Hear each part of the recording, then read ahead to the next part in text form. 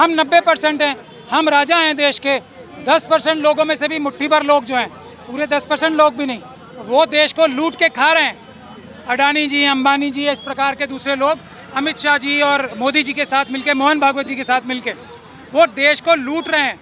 तो मोदी जी, ये पाप हम सब करेंगे। हम ना हम इंसान को इंसान के बराबर मानते हैं। जो लोग इसे पाप समझते हैं, इंसान को इंसान के बराबर मानने का, हम ये पाप करेंगे। पापी आप हो। अगर आप बराबरी को पाप कहते हो अगर आप रिजर्वेशन को पाप कहते हो अगर आप सच्चाई को पाप कहते हो ये सच्चाई तो सामने आई है ना बौखला गए मोदी जी के ऊपर तो ये भी इल्ज़ाम लगते हैं ना उन्होंने खुद को अपने आप को ओबीसी बनाया था। खुद ही बनाया था ना अपने आप को? तो तो जब खुद ही बना रहे हैं तो एक योगी जी हैं उनके और एक अमित शाह जी हैं जो तड़ी पार रह चुके हैं। योगी जी हैं उन्होंने अपने ऊपर से 302 के मुकदमे हटा ली तो अपनी कलम से अपने सारे पापों का धोने का काम जो कर रहे हो अंबेडकर वादियों को टच करके दिखाओ आप लोग। हम बताएँगे आपको।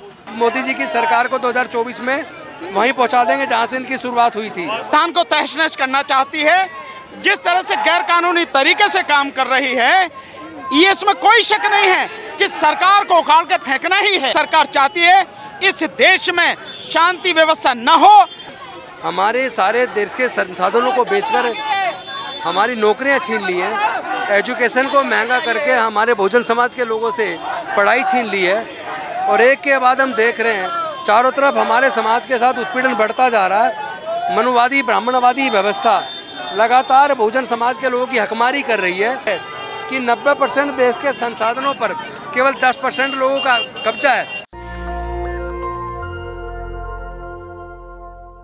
अभी हम मौजूद हैं। विश्वविद्यालय, दिल्ली विश्वविद्यालय की सड़कों पर जो है ये मार्च आप देख पा रहे होंगे, कितनी बड़ी संख्या में यहाँ पर लोग मौजूद हैं। आपको बता दें कि डॉक्टर ऋतु का जो प्रदर्शन चल रहा था।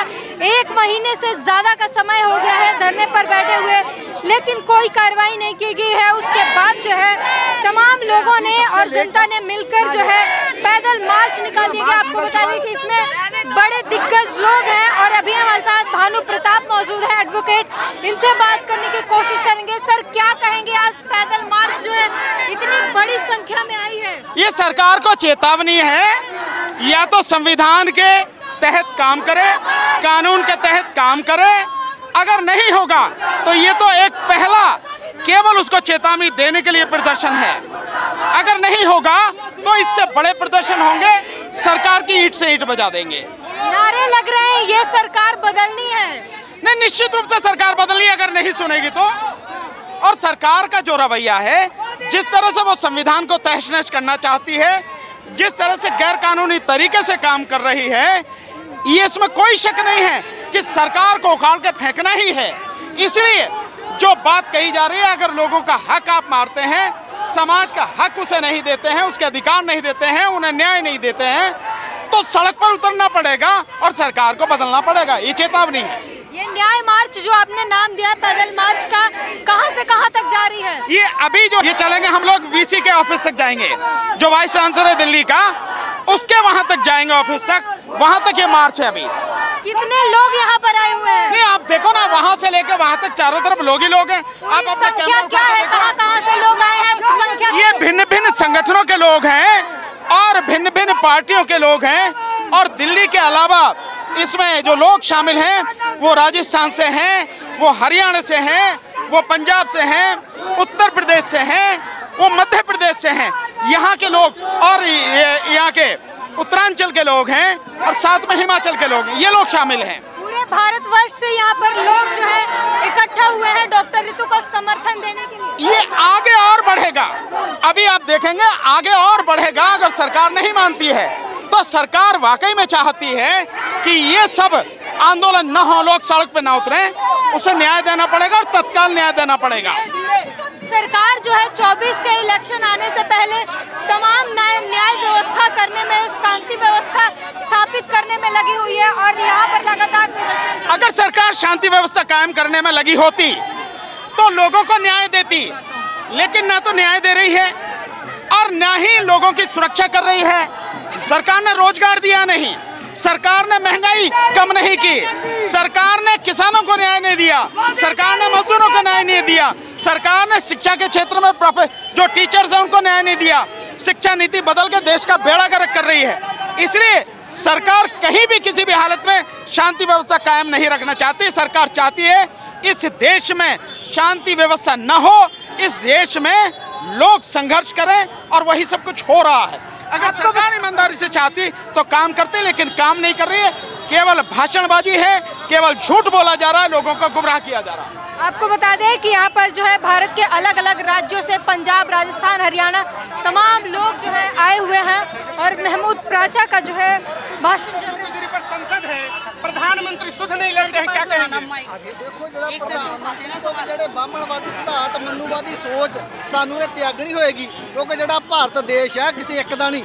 ਸਾਰਿਆਂ ਦਾ ਹੈ, ਹਰ ਕੋਈ ਦਲਤ ਹੋਵੇ, ਕੋਈ ਬ੍ਰਾਹਮਣ ਜਾਤੀ ਹੋਵੇ, ਕਿਉਂਕਿ ਦੇਸ਼ ਸਾਰਾ ਆਜ਼ਾਦ ਦੇਸ਼ ਹੈ, ਭਾਰਤ ਦੇਸ਼ ਇਸ ਕਰਕੇ ਮੋਦੀ ਸਾਹਿਬ ਨੂੰ ਸੋਚਣ ਦੀ ਲੋੜ ਹੈ, R S S, B G ਪੀ, ਜਿਹੜੇ ਕਿ ਇੱਕ ਗਰੀਬਾਂ ਤੇ ਜ਼ੁਲਮ ਕਰਨਾ, ਕਿਸੇ ਤੇ ਹੱਤਿਆਚਾਰ ਕਰਨਾ, ਜਿਵੇਂ ਕਿ ਡਾਕਟਰ ਰਿਤੂ ਸਿੰਘ ਨੂੰ ਇਹ ਕਿਤਨਾ ਜ਼ੁਲਮ ਹੋਇਆ ਜਾਤੀਵਾਦ ਤੇ ਜਾਤ ਦੇ ਹੰਕਾਰੀਆਂ ਵੱਲੋਂ ਕਿਉਂਕਿ ਖਾਲਸਾ ਪੰਥ ਸ਼ੁਰੂ ਤੋਂ ਜ਼ੁਲਮ ਦੇ ਖਿਲਾਫ ਖੜਦਾ ਹੈ, ਇਸ ਕਰਕੇ ਅਸੀਂ ਇਹਨਾਂ ਦੇ ਨਾਲ ਡਟ ਕੇ ਖੜੇ ਆ ਜਿਹੜੀ ਵੀ ਪ੍ਰਿੰਸੀਪਲ ਨੇ ਜਾਤ ਦੇ ਹੰਕਾਰ ਦੇ ਵਿੱਚ ਇਹਨਾਂ ਦੇ ਨਾਲ ਧੱਕੇ ਕੀਤੇ ਆ ਜਾਂ ਕਿ ਹੋਰ ਗਰੀਬਾਂ ਦੇ ਨਾਲ ਜ਼ੁਲਮ ਹੋਏ ਆ, ਅਸੀਂ ਇਹਨਾਂ ਦੇ ਨਾਲ ਡਟ ਕੇ ਖੜੇ ਉਹਨੂੰ ਛੇਤੀ ਤੋਂ ਛੇਤੀ ਸਸਪੈਂਡ ਕਰਨਾ ਚਾਹੀਦਾ ਜੋ ਕਿ ਜਿਹੜੇ ਧੱਕੇ ਕਰਦੀ ਜਾਤ ਦੇ ਖਿਲਾਫ ਜਾਂਦਾ ਹੈ। ਇਸ ਕਰਕੇ ਅਸੀਂ ਜ਼ੁਲਮ ਦੇ ਨਾਲ ਸਦਾ ਖੜੇ, ਜਿੱਤੇ ਵੀ ਜ਼ੁਲਮ ਹੋਏਗਾ, ਕਿਸੇ ਸਾਡੀ ਧੀ ਭੈਣ ਨਾਲ ਹੋਰ ਨਾਲ ਵੀ ਕਿਸੇ ਨਾਲ ਜ਼ੁਲਮ ਹੋਏਗਾ। ਕੋਈ ਹੋਰ ਜਾਤ ਦਾ ਹੰਕਾਰੀ ਕਿਸੇ ਹੋਰ ਨਾਲ ਵੀ ਧੱਕਾ ਕਰੇਗਾ ਅਸੀਂ ਉਹਦੇ ਨਾਲ ਡਟ ਕੇ ਖੜਾਂਗੇ अच्छा, ਸਰਕਾਰ- डॉक्टर रितु की बात करें सिख समाज से आती है दलित बेटी है फिर भी अभी तक न्याय नहीं है अब सिख समाज भी खुलकर निहंग समाज भी खुलकर समर्थन में है क्या मोदी की नींद खुलेगी क्या ਦੇਖੋ ਜਿਹੜਾ ਸਿੱਖ ਸਮਾਜ ਹੈ ਨਾ ਗੁਰੂ ਗੋਬਿੰਦ ਸਿੰਘ ਦੀ ਫੌਜ ਹੈ ਅਸੀਂ ਤਾਂ ਸ਼ੁਰੂ ਤੋਂ ਹੀ ਧੱਕੇ ਦੇ ਖਿਲਾਫ ਖੜਦੇ ਆਏ ਆ ਜੇ ਹਿੰਦੂ ਪਰਿਵਾਰਾਂ ਦੇ ਨਾਲ ਜ਼ੁਲਮ ਹੋਏ ਆ ਸਾਰੇ ਗੁਰੂ ਤੇਗ ਬਹਾਦਰ ਪਾਤਸ਼ਾਹ ਨੇ ਜ਼ੁਲਮ ਦੇ ਖਿਲਾਫ ਜਾ ਕੇ ਸ਼ਹੀਦੀ ਦਿੱਤੀ ਹਿੰਦੂ ਪਰਿਵਾਰਾਂ ਨੂੰ ਸਨਾਤਨ ਧਰਮ ਬਚਾਉਣ ਲਈ ਉਹੀ ਖਾਲਸਾ ਪੰਥ ਦੇ ਸਿਧਾਂਤ ਹੈ ਇਹ ਡਾਕਟਰ ਰੀਤੂ ਸਿੰਘ ਦੀ ਗੱਲ ਨਹੀਂ ਪੂਰੇ ਸਮਾਜ ਦੀ ਗੱਲ ਆ ਕਿਸੇ ਹੋਰ ਵੀ ਧੀ ਨਾਲ ਧੱਕਾ ਹੋਏਗਾ ਸਾਡੀ ਭੈਣ ਨਾਲ यहाँ पर बता दें कि तमाम दिग्गज लोग यहाँ पर आए हुए हैं पंजाब हरियाणा तमाम लोग जो है सर क्या कहेंगे आज जो जो लोग कह रहे थे कि 10 पाँच लोग हैं आज आपने इतनी बड़ी रैली खड़ी कर दी क्या कहेंगे ये बहुजन समाज जाग रहा है। और ये जो उत्पीड़न लगातार हमारे लोगों के साथ बढ़ा है, हमारे सारे देश के संसाधनों को बेचकर हमारी नौकरियाँ छीन ली हैं। एजुकेशन को महँगा करके हमारे बहुजन समाज के लोगों से पढ़ाई छीन ली है। और एक के बाद हम देख रहे हैं, चारों तरफ़ हमारे समाज के साथ उत्पीड़न बढ़ता जा रहा है। मनुवादी, ब्राह्मणवादी व्यवस्था लगातार बहुजन समाज के लोगों की हकमारी कर रही है। इसलिए ये तो होना ही है। एक दिन तो रोड पे उतर के इस लड़ाई को लड़ना पड़ेगा संवैधानिक तरीके से जैसे डॉक्टर बाबा साहेब अंबेडकर लड़ते थे। और आज तो ये साबित हो गया। नारे लगा रहे कि सरकार को बदलना होगा। सरकार तो बिल्कुल खत्म होने वाली है। ये मोदी जी की सरकार को 2024 में वहीं पहुँचा देंगे जहाँ से इनकी शुरुआत हुई थी। क्योंकि ये अन्याय करने वाली है ये बाबा साहब के संविधान को बदल के लोकतंत्र खत्म करके मनुस्मृति का शासन लाना चाहते हैं। इसीलिए इन्होंने देश के सारे संसाधन दो चार पूंजीपतियों के हाथ में सौंप दिए हैं। इसीलिए ये लोग देश के सारे संसाधन को बेचते जा रहे हैं, एजुकेशन को महँगा करके मेजोरिटी से ये पढ़ाई छीन रहे हैं। साथ ही साथ महँगाई बढ़ गई, बेरोजगारी बढ़ गई एक एक करके इन्होंने पूरे समाज की हालत ख़राब कर दी है। इसलिए अब एक अच्छी बात हुई है कि जो हमारे महापुरुष कहते थे, जैसे मानवर कांसीराम साहब ने कहा था, बहुजन समाज पिचासी परसेंट है। मैं तो बिहार की सरकार का धन्यवाद करूँगा, उन्होंने जाति की जो गणना कराकर उसके आंकड़े जारी किए हैं उन आंकड़ों से भी ये साबित हो गया कि बहुजन समाज वास्तव में पिचासी परसेंट है। और एक और चीज़ सामने आई है कि 90 परसेंट देश के संसाधनों पर केवल 10 परसेंट लोगों का कब्जा है। मुझे आज याद आती है जगदेव बाबू कुशवाहा की बात। सौ में नब्बे शोषित हैं, शोषितों ने ललकारा है। धनधरती और राजपाट में नब्बे भाग हमारा है। तो वो नब्बे भाग अपना लेने का आंदोलन शुरू हो चुका है पूरे देश के अंदर। अब हमारे समाज की हकमारी नहीं होगी। बहुजन समाज जिसकी जितनी संख्या भारी, उसकी उतनी हिस्सेदारी। इस लड़ाई को तेज़ी से पूरे देश में हम बढ़ाने वाले हैं और आने वाले तीन दिसंबर 2023 को रामलीला मैदान में लाखों लोग इकट्ठा होंगे बहुजन समाज के और वहाँ पे जो डॉक्टर बाबा साहेब अंबेडकर का असल उनकी जो डिमांड थी सेपरेट इलेक्ट्रल पृथक निर्वाचन क्षेत्र, हम फिर से वो पृथक निर्वाचन क्षेत्र की मांग को मजबूती से आने वाले तीन दिसंबर को रामलीला मैदान दिल्ली के अंदर उठाने वाले हैं कि एस सी विधायक और सांसदों को केवल एस सी के ही लोग वोट डालें। क्योंकि जब तक ये नहीं होगा तब तक हमारे सांसद विधायक कभी समाज की आवाज़ नहीं बन पाएँगे। वो उसी तरह अलग अलग पार्टियों के पपिट्स बन के रहेंगे। आपको बता दें कि इस प्रोटेस्ट में है जो मार्च में तमाम दिग्गज लोग जो है शामिल है और तमाम सोशल एक्टिविस्ट जो है वो सभी शामिल हैं। और जो है अभी बात करेंगे एडवोकेट महमूद प्राचा से क्या कुछ कहना चाहेंगे सर? इतनी बड़ी जो है पैदल मार्च निकाल रहे हैं आप कुछ असर होते हुए दिखेगा? नहीं हमें इसकी चिंता ही नहीं है ना। असर होगा ही नहीं होगा? हमारे समाज को जगाने की काम कर रहे हैं हम लोग। अगर हमारा समाज जाग जाएगा, हमें और कुछ चाहिए ही नहीं। हमें कोई और चीज़ नहीं चाहिए। हमारा समाज जाग जाए। हम लोग 90 परसेंट है। अभी बिहार की जनगणना ने ये साबित कर दिया। हम लोग तो 90 परसेंट हैं। हमें अपने समाज को जगाना है कि S C S T O B C Muslim, Sikh, Christian, बौद्ध, ये सब एक हैं। हम 90 परसेंट हैं। हम राजा हैं देश के। 10 परसेंट लोगों में से भी मुट्ठी भर लोग जो हैं, पूरे 10 परसेंट लोग भी नहीं, वो देश को लूट के खा रहे हैं। अडानी जी, अंबानी जी, इस प्रकार के दूसरे लोग, अमित शाह जी और मोदी जी के साथ मिलके, मोहन भागवत जी के साथ मिलके, वो देश को लूट रहे हैं। चाइना और पाकिस्तान के साथ हाथ मिलाकर देश को कमज़ोर कर रहे हैं। अब देश का जो बहुजन समाज है, नब्बे परसेंट जो है बिहार की जनगणना के हिसाब से जाग गया है। अब देखो अब क्या होगा। मोदी जी कह रहे हैं पाप किया है जनगणना करा के भाइयों को भाइयों से बांट दिया। बिल्कुल मनुवाद की नज़र में तो ये पाप ही है ना। मनुवाद की नज़र में ये पाप था कि कोई भी व्यक्ति ब्राह्मणों के अलावा एजुकेशन हासिल करे पढ़ाई लिखाई करे ये तो पाप ही था ना। किसी भी व्यक्ति के जो जिसके छुआछूत लागू होती थी बाबा साहब ने जो बोला था ना मैं अनटचेबल कम्युनिटी को रिप्रेजेंट कर रहा हूँ हाँ। उसको कोई छूना भी पाप था ना। अगर महिला ढोड़ गमार अ, शूद्र पशु नारी नारी को पीटा ना जाए तो वो अपराध और पाप ही था ना। तो मोदी जी ये पाप हम सब करेंगे। हम ना हम इंसान को इंसान के बराबर मानते हैं। जो लोग इसे पाप समझते हैं इंसान को इंसान के बराबर मानने का हम ये पाप करेंगे। जो लोग ये कहते हैं कि पढ़ाई लिखाई नहीं करेंगे और कुछ लोग और या ज़्यादातर लोग पढ़ाई लिखाई नहीं करेंगे। जो लोग ये कहते हैं कि हम स्तन टैक्स लगाएँगे और हम लोग उसका विरोध करेंगे। अगर मोदी जी को स्तन टैक्स लगाना का, का विरोध करना स्तन टैक्स लगाने का विरोध अगर पाप लगता है तो ये पाप टीपू सुल्तान ने भी किया था और हम भी करेंगे। ये पाप हम करते रहेंगे जब तक ये पाप पुण्य नहीं बन जाता पूरी दुनिया की नज़र में। जब तक बाबा साहब डॉक्टर भीमराव अंबेडकर का संविधान इस देश का विधान नहीं बन जाता actually in letter and spirit ये पाप हम करते रहेंगे, मोदी जी। और आप जो पाप कर रहे हो ना, इसको पाप कह के, उसको भी हम बेनकाब करेंगे, पापी आप हो। अगर आप बराबरी को पाप कहते हो, अगर आप रिजर्वेशन को पाप कहते हो अगर आप सच्चाई को पाप कहते हो सच्चाई तो सामने आई है ना बौखला गए मोदी जी के ऊपर तो ये भी इल्ज़ाम लगते हैं ना उन्होंने खुद को अपने आप को ओबीसी बनाया था। खुद ही बनाया था ना अपने आप को? तो तो जब खुद ही बना रहे हैं तो एक योगी जी हैं उनके और एक अमित शाह जी हैं जो तड़ी पार रह चुके हैं। योगी जी हैं उन्होंने अपने ऊपर से 302 के मुकदमे हटा ली तो अपनी कलम से अपने सारे पापों का धोने का काम जो कर रहे हो वो हम चलने नहीं देंगे। अम्बेडकरवादी जाग गए उठ खड़े हुए हैं।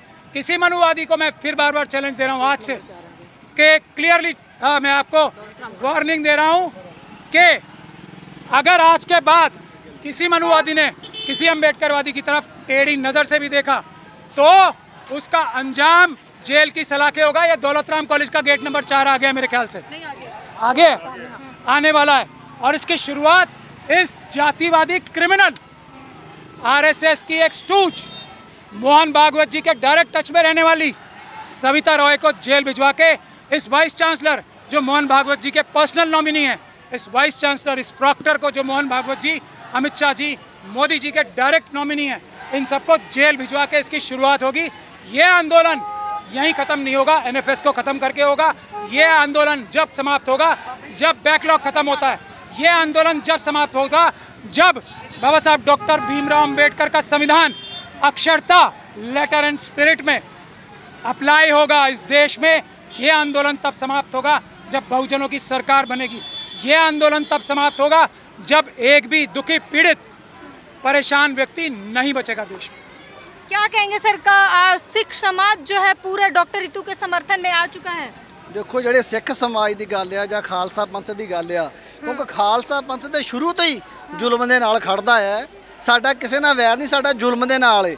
ਜੇ ਕੋਈ ਵੀ ਹਾਂ, ਜਾਤ ਦੇ ਹੰਕਾਰ 'ਚ ਮਨੂਵਾਦੀ, ਬਾਹਮਣਵਾਦੀ ਸਿਧਾਂਤਾਂ ਤੇ ਚੱਲ ਕੇ ਜਿਵੇਂ ਡਾਕਟਰ ਰੀਤੂ ਸਿੰਘ ਨੂੰ, ਜਿਵੇਂ ਕਿ ਜਾਤ ਦੇ ਹੰਕਾਰੀਆਂ ਨੇ, ਜਿਵੇਂ ਕਿ ਜਾਤ ਦੇ ਬਾਰੇ ਅਪਸ਼ਬਦ ਬੋਲੇ ਜਾਂ ਜਾਤ ਪਾਤ ਨੂੰ ਨੀਵਾ ਦਿਖਾਉਣ ਵਾਸਤੇ, ਹਨਾ? ਇਸ ਕਰਕੇ ਜਿਹੜਾ ਖਾਲਸਾ ਬੰਦੇ ਅਸੀਂ ਡਟ ਕੇ ਡਾਕਟਰ ਰਿਤੂ ਸਿੰਘ ਦੇ ਨਾਲ ਖੜੇ ਪੂਰਾ ਸਿੱਖ ਸਮਾਜ, ਕਿਉਂਕਿ ਸਿੱਖ ਸਮਾਜ ਇਕੱਲਾ ਡਾਕਟਰ ਰਿਤੂ ਸਿੰਘ ਦੇ ਨਾਲ ਨਹੀਂ ਖੜਾ ਕਿਸੇ ਦੇ ਵੀ ਜ਼ੁਲਮ ਹੋਏਗਾ, ਜਿਹਦੇ ਤੇ ਵੀ ਜਾਂ ਜਿਹਨੂੰ ਕੋਈ ਦਲਿਤ ਬੱਚਿਆਂ ਨੂੰ ਕਹਿ ਜਾਏ ਕਿਉਂਕਿ ਆ ਸਾਡੇ ਲਈ ਸਾਰੇ ਬਰਾਬਰ ਨੇ ਅਸੀਂ ਜ਼ੁਲਮ ਦੇ ਖਿਲਾਫ ਹੈ ਇਸ ਕਰਕੇ ਸਰਕਾਰਾਂ ਨੂੰ ਇਹੀ ਕਹਿਣਾ ਚਾਹੁੰਦੇ ਆ ਮੋਦੀ ਸਰਕਾਰ ਜਾਂ ਮਿੱਤ ਜਾਂ ਸਾਰਿਆਂ ਨੂੰ ਵੀ ਡਾਕਟਰ ਰੀਤੂ ਸਿੰਘ ਨੂੰ ਇਨਸਾਫ ਮਿਲਣਾ ਚਾਹੀਦਾ ਹੈ।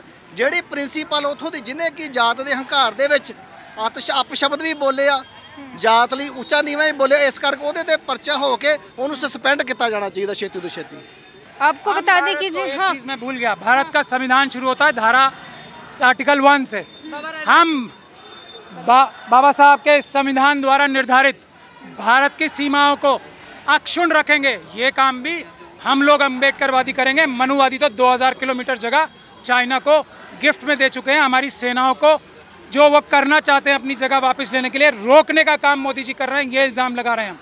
अगर बहुजनों की सरकार आएगी तो सबसे पहला काम करेगी वो अपनी 2000 किलोमीटर जगह वापस लेने की। वो कोई भी व्यक्ति जो भारत तोड़ के दूसरे किसी देश का नाम भी लेता है, उसको या तो समझा के ठीक करने की या जेल में डाल के ठीक करने का काम हम करेंगे ये हमारा पहला पक्का निर्णय है, नियम है धारा एक, आर्टिकल वन जो निर्धारित करता है भारत की सीमाओं। मोदी जी कह रहे हैं, हम लगातार शांति व्यवस्था कायम करने के लिए कार्यरत हैं। उन्होंने संजय सिंह को ईडी उठाकर ले गई, पत्रकारों को जो है दिल्ली पुलिस उठाकर ले गई और सात दिन के रिमांड पर है। कह रहे हैं, ये सब शांति व्यवस्था के लिए किया जा रहा है। हमारे किसी अंबेडकरवादी की तरफ़ उंगली उठा के देखे, मैं तो सीधी बात चैलेंज कर रहा हूँ। टच करके तो दूर बात है, टेढ़ी नगर से किसी अंबेडकरवादी को अगर देख लिया, गंदी नज़र से, यानी कि झूठा इल्ज़ाम लगा के उसको हम छोड़ेंगे नहीं, भारत के संविधान और कानून के हिसाब से जेल भिजवाएँगे और लंबे टाइम तक जेल रखेंगे। खुला चैलेंज है। अंबेडकर वादियों को टच करके दिखाओ आप लोग। हम बताएँगे आपको। तो ज़ाहिर तौर पर पूरे जो है बहुजन समाज अब जाग चुका है और अलग अलग राज्यों से है यहाँ पर जो है लोग आए हुए हैं डॉक्टर ऋतु को समर्थन देने के लिए। आपको बता दें, पंजाब, हरियाणा, राजस्थान, मध्य प्रदेश, तमाम जो है राज्यों से लोग यहाँ पर आए हैं और बहुत बड़ी संख्या में लोग यहाँ पर मौजूद हैं। आप देख पा रहे होंगे तस्वीरों में कितनी बड़ी संख्या है। क्या कहेंगी मैम, जो एक समय पर कहा जा रहा था चार पाँच लोग हैं, आज आपने हज़ारों लोगों की संख्या खड़ी कर दी है। मैंने नहीं अम्बेडकरवाद ने। हाँ। मैंने नहीं मेरी कोई औकात नहीं है मेरी कोई हैसियत नहीं है। हाँ। ये वो अम्बेडकरवाद है ये वो बाबा साहिब का आज वो चीज़ हुई जब बाबा साहब ने कहा था ना मेरी बात आएगी समाज की बात आएगी समाज को पहले रखूँगा। तो समाज में जब अन्याय के खिलाफ एक बेटी सड़क पर बैठी है तो वो सारा अम्बेडकरवादी समाज आज सड़कों पर नीली क्रांति। आप देखोगे बहन आपने कहा हज़ार लोग ये ट्रेलर है पिक्चर अभी बाकी है। There lots in our plan and strategy आप देखते जाओगे आगे आगे होता है क्या? ये पूरी यूनिवर्सिटी में उखाड़ना है हमें जातिवादियों को उखाड़ा और अम्बेडकरवाद का ही राज चलेगा और किसी का राज नहीं चलेगा इस देश में। हम जो कहेंगे, वो होगा। जो गुंडे, मवाली, चोर, वो कहेंगे, वो नहीं होगा इस देश में। बहन बेटी की इज़्ज़त आबरू को बचाया जाएगा। इंस्टीट्यूशनल मैटर्स रोके जाएँगे। दलितों के साथ उत्पीड़ना होती, रोकी जाएगी। सीधी तस्वीर हम आपको दिखा रहे हैं। कितनी बड़ी संख्या में जो है, यहाँ पर लोग दिखाई दे रहे हैं। आपको साफ़ तौर पर दिख रहा है, तमाम जो है रैली चल रही है। पैदल मार्च चल रहा है। इस पैदल मार्च का नाम दिया गया है। न्याय मार्च। कहा गया है और आप पोस्टर देख पा रहे होंगे किस तरीके से जो है तमाम लोग यहाँ पर मौजूद हैं आए हुए हैं। दूर दूर से अलग अलग शहरों से लोग यहाँ पर आए हैं। डॉक्टर ऋतु के समर्थन में पोस्टर लेकर चल रहे हैं। तमाम भीम आर्मी के भी लोग हैं तमाम संगठनों से लोग आए हुए हैं। और भी लोग करते हैं इस देश के अंदर और भी लोग यात्राएँ निकलते हैं। भीड़ और लोग भीड़ से हमसे ज़्यादा लोग जो है और, भी बहुत सारे लोग हैं। मगर उन पे तो आरोप नहीं लगते मुझे लगता है ये आपका ही आरोप है। जो प्रधानमंत्री सनातन पर बहुत लंबा चौड़ा भाषण देते हैं लेकिन मणिपुर पर कुछ नहीं सनातन सनातन सिर्फ़ और सिर्फ़ इस तरह से है जिस तरह से पहले वोट लेने के लिए हिंदू था आज नया शब्द जो है आज नया प्रोपगंडा सनातन है और कुछ नहीं। जो हक की आवाज़ उठाते हैं संजय सिंह जैसे नेता जो है उन्हें वो आम आदमी पार्टी वो जो है आम आदमी पार्टी के लीडर बताएँगे, मगर ये लोकतंत्र के अंदर जो है, लोकतंत्र की हत्या है जिस तरह से जो सरकार के खिलाफ बोल रहे हैं, उनको जो है जेल में डाला जा रहा है। ये कहीं ना कहीं तानाशाही का, तानाशाही दर्शाता है। ये कहीं ना कहीं जो है, इस हालात को दिखाता है कि ये देश जो है, मनुस्मृति के आधार पर चलाना चाहते हैं, बल्कि भारतीय संविधान के आधार पर नहीं। पत्रकार जो है, माओवाद फैला रहे हैं, आतंकवाद फैला रहे हैं में डाल दिया गया? इस देश के अंदर शुरू से ऐसा होता आया है, जब एससी अपनी आवाज़ उठाएगा, जब एस सी अपनी आवाज़ उठाएँगे तो उनको माओवादी बता दिया जाएगा, उनको नक्सली बता दिया जाएगा। जब इस देश के अंदर मुसलमान अपने हक अधिकारों की आवाज़ उठाएगा तो उसको मुसलमान बता दिया उसको आतंकवादी बता दिया जाएगा। जब इस देश के अंदर सिख अपनी आवाज़ उठाएँगे तो उनको खालिस्तानी बता दिया जाएगा। और इस बार जो है, जो इस देश में कमज़ोर, शोषित, वंचित वर्ग के लोगों के मान सम्मान, स्वाभिमान के हक अधिकारों की आवाज़ उठाते हैं, उनको इस बार ये माओवादी बता रहे हैं। मगर लंबे समय तक इनके ये सब चीज़ें चलने वाली नहीं हैं।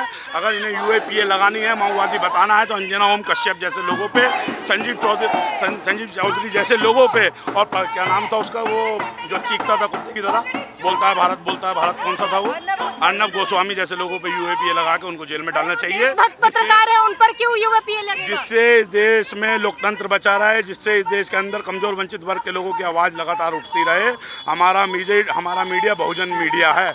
हमारा मीडिया इस देश के अंदर कमज़ोर वंचित वर्ग के लोगों की आवाज़ उठाने वाला तमाम आप साफ़ तौर पर देख पा रहे होंगे किस तरीके से जो है डॉक्टर ऋतु का जो है प्रदर्शन चल रहा है और तमाम लोग यहाँ पर जो है संख्या में आए हुए हैं। डॉक्टर ऋतु खुद जो है मंच का संचालन कर रही है। मंच का संचालन कर रही है और तमाम लोग जो है उनको सुन रहे हैं। पूरी बातचीत पर अपनी प्रतिक्रिया ज़रूर दीजिए। कैमरामैन आशीष के साथ beauty green national Dastak. National Dastak की आपसे गुजारिश है कि अगर इसको बचाना चाहते हैं तो नेशनल दस्तक को सब्सक्राइब करने के लिए रेड कलर के सब्सक्राइब बटन को दबाएँ, फिर बेल आइकन की घंटी दबाएँ। नेशनल दस्तक को बचाने के लिए बहुत ज़रूरी है कि हर खबर को शेयर करें, लाइक करें, कमेंट ज़रूर करें।